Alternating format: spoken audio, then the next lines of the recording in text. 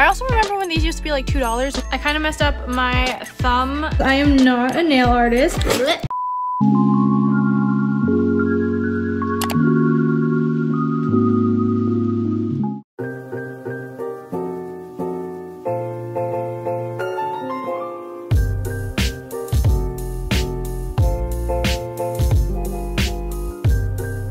Good morning guys, welcome back to the vlogs. This is going to be another day in my life. So of course we start every day with tea. Uh, no, not actually, but apparently in every vlogs I start my day with tea or coffee, which is kind of funny. But it is like quarter to eight, so 7.45 in the morning right now. I woke up about seven and I just wanted to share my skincare routine with you since somebody did ask me about that. Obviously, I have acne and I've been struggling with acne for so, so long. I've basically had acne since high school, maybe a little bit earlier than that. So let's get into it. They also called me into work this morning and I think I'm working at like 9 so kind of be fast about this but every morning and every night I wash my face with CeraVe. This is the foaming facial cleanser. I only wash my face like once like with a tiny bit of cleanser in the morning just because I don't want it to be too harsh but at night I will do two cleanses with this and I always tie my hair back. This is just with a Lulu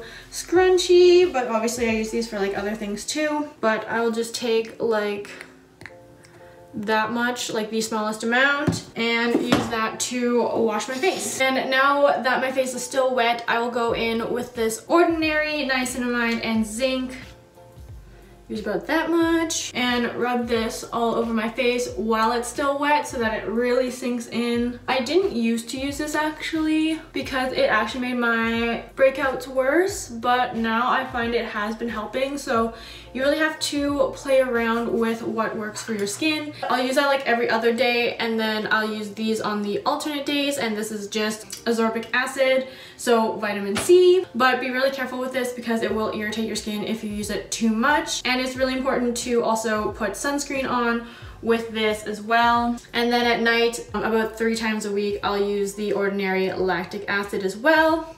And I'll have everything linked down below for you guys but this is just like a good exfoliant. I find it really good for like my forehead acne and then clearing blackheads on my nose. And now while that's sinking in, I will apply my CeraVe moisturizing lotion.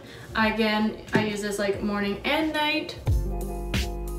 Besides the times I will use like my retinol cream, which is like once a week. This is the retinol cream, it's just the Neutrogena Rapid Wrinkle Repair. And then the spot treatments I will use is this Clean and Clear salicylic acid and benzogel. This will stain and bleach, so be really careful. Make sure you wash your hands after applying this. I'll usually use this at night, but don't like go to bed right away make sure that it does soak in or else it will stain your sheets and your pillowcases. So I've had that happen. But yeah I'll just like put the smallest amount just on the active acnes the ones that are really bad. Of course I'll go in with um, some sunscreen once my moisturizer has soaked in and this is just the Coppertone one. That's basically all for my skincare and then I will show you my foundation routine in a minute Okay, I just finished curling my hair and we're going to let that set. So I'm going to show you quickly my makeup routine. I'm using this Clinique even better clinical foundation and my Sigma foundation brush. These are honestly so old. If you remember these Pink Bunny collection Sigma brushes, then give this video a like because I've had these since middle school and I think I was 12. I'll just go ahead and put like a small pump of foundation on each and then just take the extra off of there onto the brush and just go ahead and blend that in a little bit.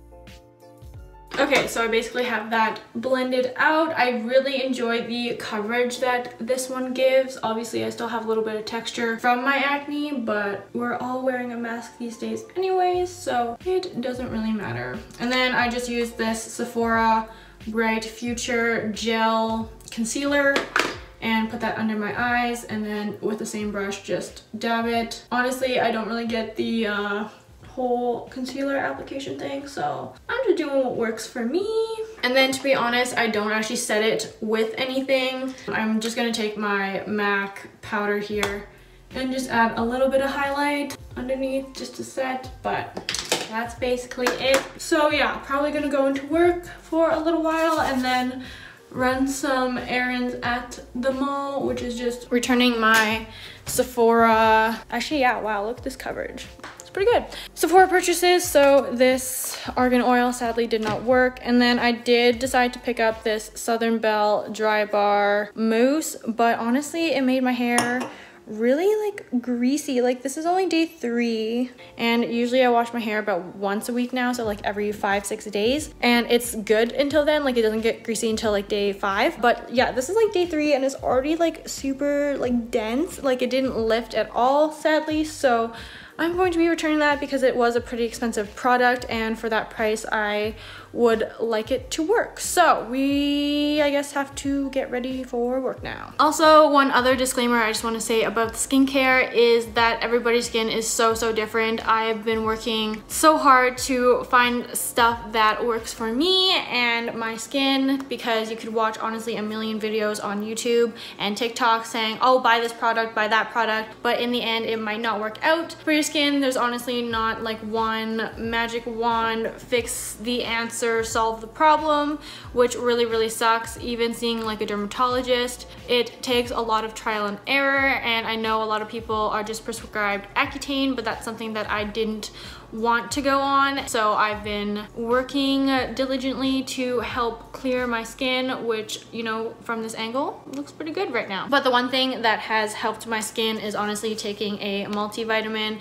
These ones are my favorite. They are the OLLY Women's Multivitamins. Yes, they are gummy vitamins because I am a child. Sure, it's not the best, but I do actually think that it has helped my skin tremendously because I used to have way worse cystic acne and this one has helped it kind of calm it down to maybe just, you know, regular acne, I guess, if that makes sense. So consult a doctor. Honestly, don't just take supplements just because I said so, but this I would attribute to helping my skin the most. Anyways, okay, now we are ready for the day. So I'm literally just wearing my Lulu Swiftly and some Wonder Unders with my H&M sweater because it's going to be casual.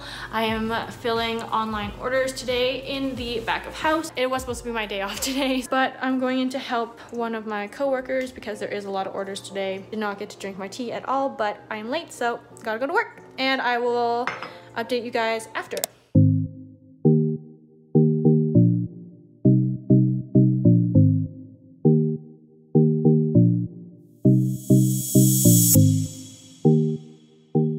I just finished at work and then I quickly grabbed a Starbucks. This is a passion tea lemonade. I honestly haven't had one of these in like forever. I also remember when these used to be like $2. Now it's like $4 for like a grande, which is stupid. But anyways, and then I returned my stuff at Sephora and then I exchanged the hair oil for this Olaplex one. Hopefully it is a little bit better because the other one was just too heavy and thick for my hair. So we'll see.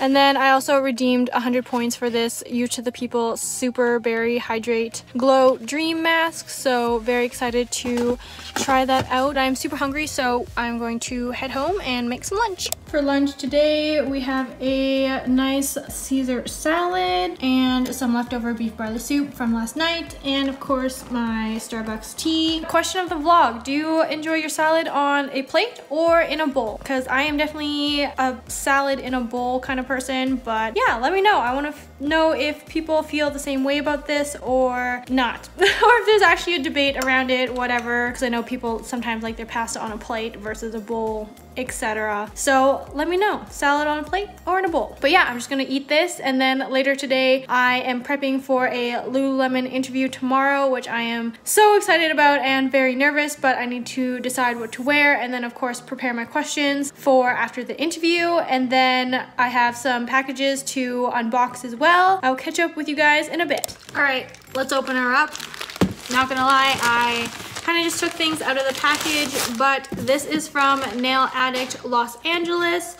So they were so kind and reached out to me to gift me some of their nail polishes to try. Thank you so, so much for these products. I am super excited to test them out and use them. So the first thing they sent over is this mini UV LED lamp. And then they sent over five of their gel polishes. So this is what it looks like when we first open the package. Okay, so the first color they sent over is Cutie Pie, which is this really cute purpley color. And then they also sent over Do Me a Favor, which is more of a pink color. As you guys know, uh, that's kind of my color palette.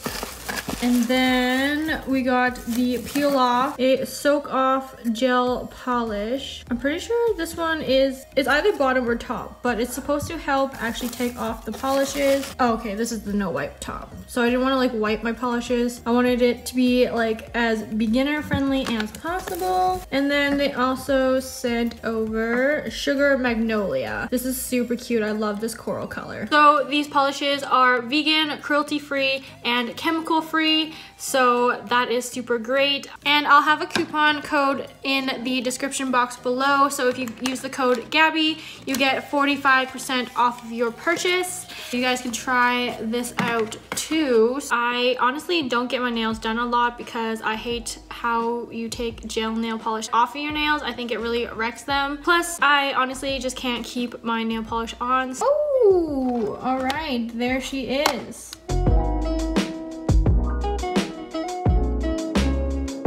kind of messed up my thumbnail, but it literally peels off. Wow. So that's going to make removal I really easy.